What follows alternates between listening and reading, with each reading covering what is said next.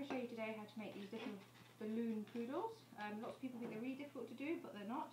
So hopefully at the end of this you'll give it a go. So I've got a balloon here, blow it up, or get someone else to blow it up for you. I'm going to do it like this long, you know, that short arm, a child's arm's length. Try a knot it. I let a bit of air out and then it's a bit easier. There we go. Firstly we'll do the nose. Here's the nose.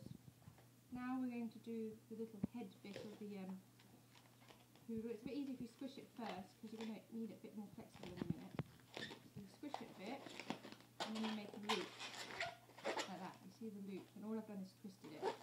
Now here's the tricky bit and I don't like this bit. You push the nose through the head.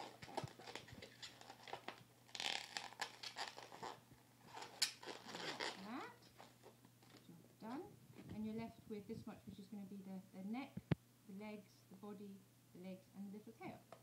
You basically do lots of little bubbles. If you've got a lot of air, you make the bubbles bigger. If you've got less air, you make the bubbles smaller. So I'm going to do five bubbles first.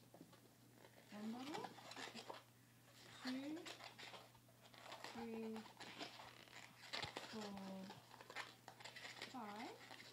You see, five bubbles. Take four and twist them together. Up, retwist it.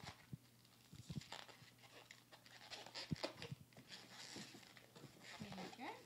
The front legs. Five again. That's the body and the legs. One, two, three, four, five. Take the back four, twist them together, and you your basic poodle. One last bit, because you want to have a little bobble tail, you basically just go.